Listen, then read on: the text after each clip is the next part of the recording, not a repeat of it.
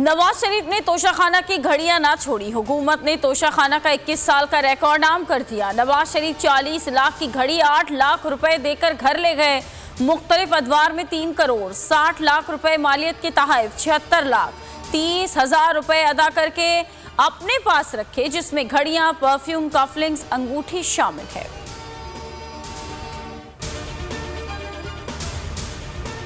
पूछता हूँ, किसने फैसला किया है? इमरान खान को आने नहीं देना। मरियम नवाज़ को इंतवी मुहिम में रियासती प्रोटोकॉल मिल रहा है। हमको जलसों की इजाज़त नहीं। क्या ये लेवल प्लेइंग फ़ील्ड है? इमरान खान ने इंटरव्यू में बड़ा सवाल उठा दिया। कहा कि उन्होंने देखा, सारे इलेक्शन हम जीत रहे हैं। अब चुन चुन कर ऐसे आरोस को लाया जा रहा है, जो नून लीग के गुलाम हैं। ये सारी सोच लंदन में बैठे नवाज़ शरीफ की है। पीटीआई वाहिद विफाकी पार्टी रह गई। मुझे खत्म करेंगे तो मुल्क इकट्ठा कौन रखेगा? गिरफ्तारी की सूरत में पार्टी चलाने की प्लानिंग कर ली तहरीक इंसाफ ने लाहौर में रैली मुलतवी कर दी। कल फिर रैली निकालने का ऐलान। इमरान खान कयादत करेंगे। ट्वीट में कहा कि इलेक्शन शेड्यूल के बाद दफ़ा 144 कैसे लग सकती है? लगता है दफ़ा से पीटीआई पर लगाई गई। इलेक्शन मुलतवी करने के बहाने ढूंढे जा रहे हैं। जमान पाक को कंटेनर्स और पुलिस की भारी नफरी ने घेर लिया है। राय हक के इम्तिहा अभी बाकी है। बोल न्यूज़ के को चेयरमैन शेब शेख का तीन रोज़ा जिस्मानी रिमांड। अदालत ने एफआईए से कहा कि कस्टडी आपको दे रहे हैं। कस्टडी में कुछ हुआ तो जिम्मेदार आप होंगे। जुडिशल मजिस्ट्रेट का कल दोबारा पेश करने का हुक्म। शुएब शेख के खिलाफ एफआईए के तमाम इकदाम गैर कानूनी है। माहरीन की राय।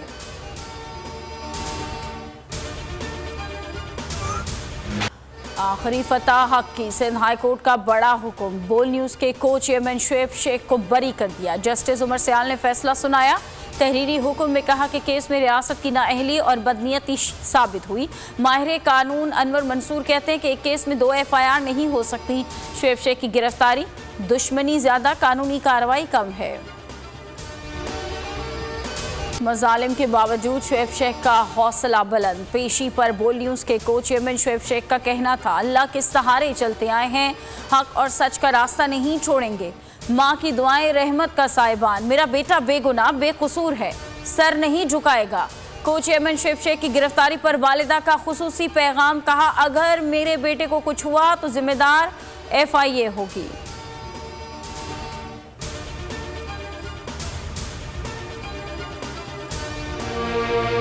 कहूँगी कि जो इस चीज़ों के जिम्मेदार हैं, उनको पकड़े। मेरे बेटा तो बेगुनाह, बेकसूर है, उसको क्यों इस तरह पकड़ा गया? कोई गुनाह साबित नहीं हुआ।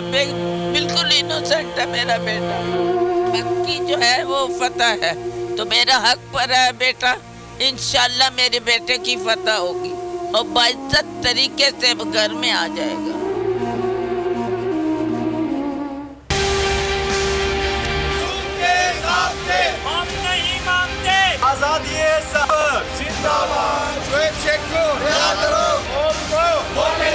शुएब शेख की गिरफ्तारी नहीं हुई। ये हर उस तबके की गिरफ्तारी हुई है हर उस तबके के शख्स की गिरफ्तारी हुई है जो हक सच का दाई है। तो ये काम ना करें बोल को बोलने दें लोगों को भी बोलने दें। हम शेख शुएब साहब के साथ हैं हम बोल के साथ हैं और इन ताला साथ रहेंगे। बोल को बोलने दो। जुल्म के ये हम नहीं बोल न्यूज़ के को चेयरमैन शुएब शेख की गिरफ्तारी के खिलाफ मुल्क भर में सहाफ़ी सरापा एहतजाज। इस्लामाबाद नेशनल प्रेस क्लब के बाहर एहतजाजी मुजाहरे में मुख्तलिफ़ सहाफ़ती तंजीमों के नुमाइंदों की बड़ी तादाद में शिरकत।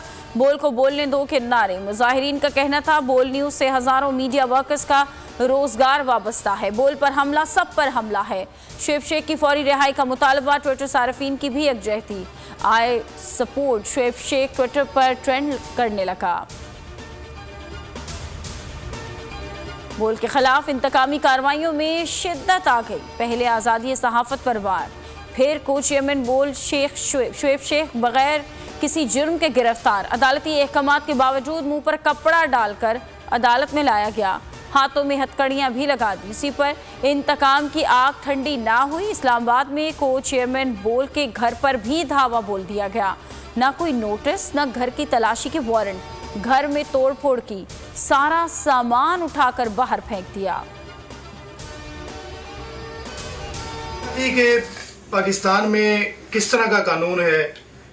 शेख साहब को बेकसूर उन्होंने जो है उन पर झूठे मुकदमात बनाए हुए हैं। मैं सिर्फ़ इतना कहूँगा कि शेख साहब को जल्द से जल्द रिहा किया जाए ताकि हमारे घरों के चूल्हे जलते रहें। कि शोएब शेख साहब के साथ जो जुल्म किया गया गैर कानूनी उनको जो है ना बंद किया गया।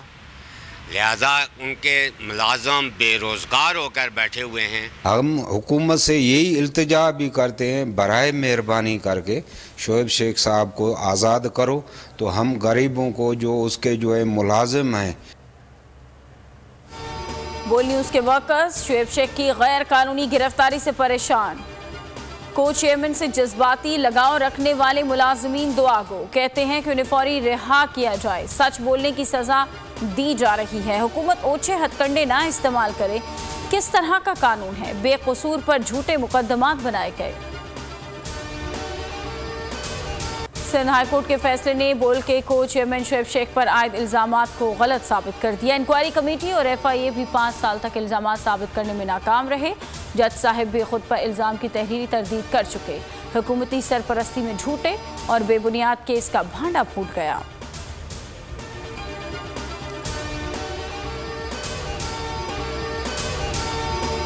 जो निज़ाम है वो कुफर का तो चल सकता है मगर जुल्म का निज़ाम नहीं चल सकता। शुएब शेख साहब का दिन के उजाले में अगवा जो है आज़ादी जार राय पर दहशत गर्दी है शदीद अफगार है।